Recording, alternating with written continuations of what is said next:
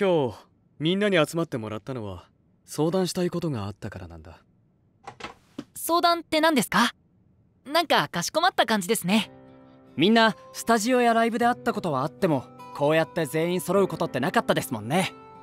きっとこういう機会はこれから増えてくるんだろうけど。純也さんとはレーベルについていろいろ話すことがあったけど皆さんとはこうやって落ち着いて話せる機会がなかったからすごく嬉しいです。ありがとうそれじゃあ早速だけど本題に入らせてもらうね。今日君たちを呼んだのは I believe について相談したかったからなんだ。I believe って京二さんが純也さんへの遺言に残した曲ですよね。あれを遺言と言っていいのか俺にはわからない。このレーベルラプソディに参加するアーティストに歌詞を書いてもらえと言って父がメロディーだけ作った曲だけど君たちをラプソディに誘った時に聞いてもらったよね。はい。うまく言葉にできないんですけど胸にグッときたっていうか俺はあの曲を聴いてどうしてもラプソディに参加したいって思ったんです。あの東坂教授の未発表曲があってそれがこのレーベルのために作られた曲だって聞いてなんかめちゃめちゃ感動しました。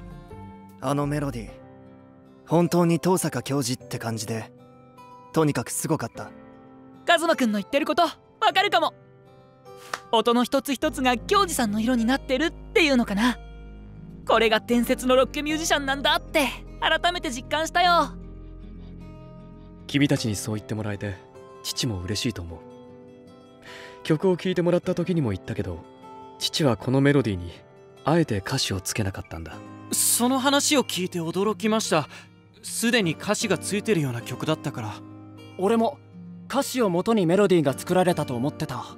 ラプソディに参加するアーティストに歌詞を書いてもらいたいっていうのが京二さんの希望なんだもんね。そうなんだ。父はきっと最初に参加する一人のアーティストに書いてもらうことを想定していたはず。でも俺は君たち4つのグループに同時に声をかけた。つまり君たち全員がラプソディの最初のアーティストになるんだ。じゃあ一体誰が歌詞を書くんですか？うーんじゃんけんとか。ラッキさんさすがにそれはないと思います。俺は作詞も作曲もやったことがないからこんなことを頼んでいいのかわからないけど君たちみんなで協力して「I believe」を完成させてほしい。みんなってことは4つのグループ全員でって意味ですか？ああ俺にとって君たち4つのグループとの出会いは奇跡のようなものだった。だから誰か一人じゃなくて全員でこの曲を作り上げてほしいと思ってる。父は音楽に関して素人な俺にレーベルを託してくれた。俺なら父の精神を継いでくれるアーティストを見つけることができると言ってくれた。最初はなんて自分勝手で人の迷惑を考えない親なんだと腹が立ったけどね。へえそうだったんですね。純也さんはどこで僕たちのことを知ってくれたんですか？知り合いの音楽関係者に頼んで父に影響を受けたアーティストを探してもらったんだ。リストをもらった時はあまりの多さに驚いたよ。そりゃそうですよ。京二さんに影響を受けたアーティストなんてたくさんいるに決まってます。だからこそ君たちとの出会いは奇跡だったって思うんだでも京二さんが亡くなった時すごい数のトリビュート作品が出てましたよね。ああもちろん知ってるよ。全部聞かせてもらったからね。あの膨大な量の作品を全部？父の曲をカバーしたり父の影響を受けたと発言したり父へのトリビュート曲を作ったり。そうしたアーティストの曲を聴いているうちに気づいたんだ俺の心を揺らす音楽とそうでない音楽がはっきり違うってことに。俺は音楽のプロではないけど父も音楽のプロに向けて曲を作っていたわけじゃない。普通の人たちに向けて作って普通の人たちに支えられて音楽をやっていた。だから父が俺の判断でレーベルを作れと言うなら俺も自分の判断に自信を持とうと思ったんだ。やっぱり純也さんは東坂教授の息子なんだな。うんどういうこと？音を聞いただけでラプソディにふさわしいアーティストかどうかすぐに判断できてしまう。それは東坂教授の DNA が入っているからできることだと思う。確かに。カズマさんの言う通りかも。俺たちの音楽は純也さんの心を揺らすことができたってことですか？もちろんだよたくさんの音を聞いたけど一緒にやりたいと思えたのは君たちだけだった。君たちなら信じられると思ったんだ。I believe だね。おおラッキさんうまいこと言いますね。うわーい褒められた。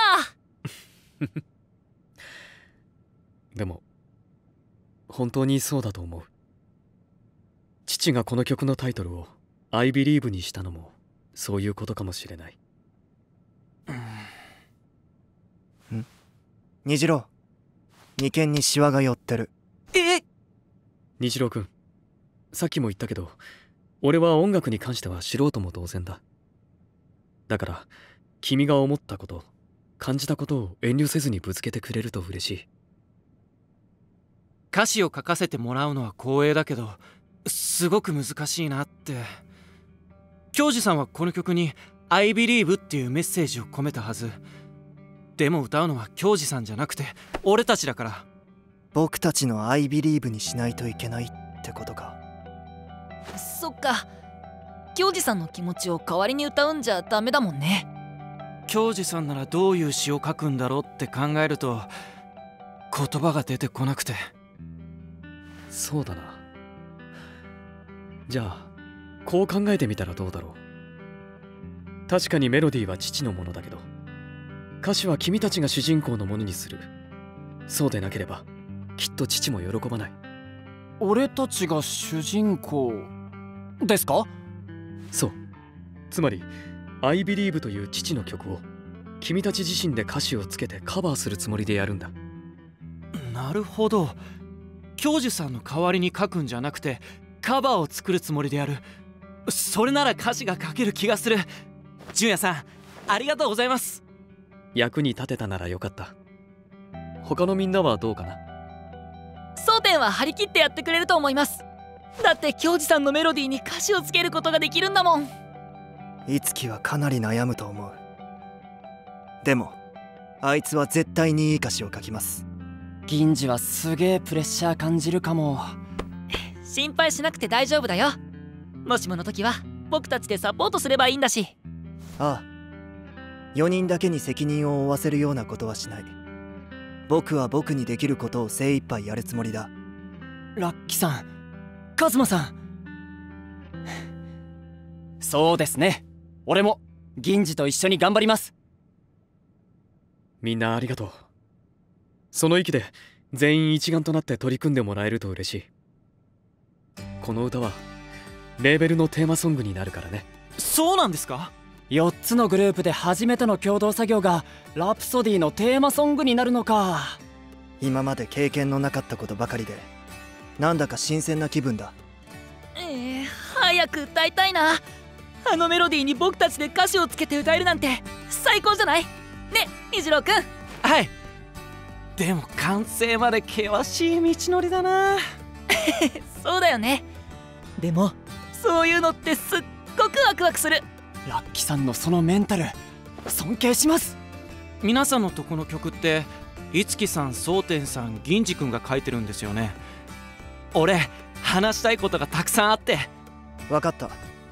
番号を教えて大丈夫かいつきに聞いてみる。ラプソディのグループも作っちゃいましょうか。メッセージのやり取りだけじゃなくてみんなで集まる時間も欲しいな。確かに。大事なことは顔を見て話したいし。それならこの場所を使うといい誰か代表で日程を連絡してくれたら鍵を開けておくよ。おおありがとうございます。もちろんそれ以外にも何かあればいつでも連絡してもらって構わない。レーベルの代表としてはまだまだ未熟だけど君たちが自分の信じる音楽をやれるように俺は全力を尽くす。そしてこれから先どんなことがあっても俺は君たちの味方だということを忘れないでくれ。はい。はーい。それじゃあカズマくん日郎くんラッキくん金次君引き続きよろしく頼むね。よろしくお願いします。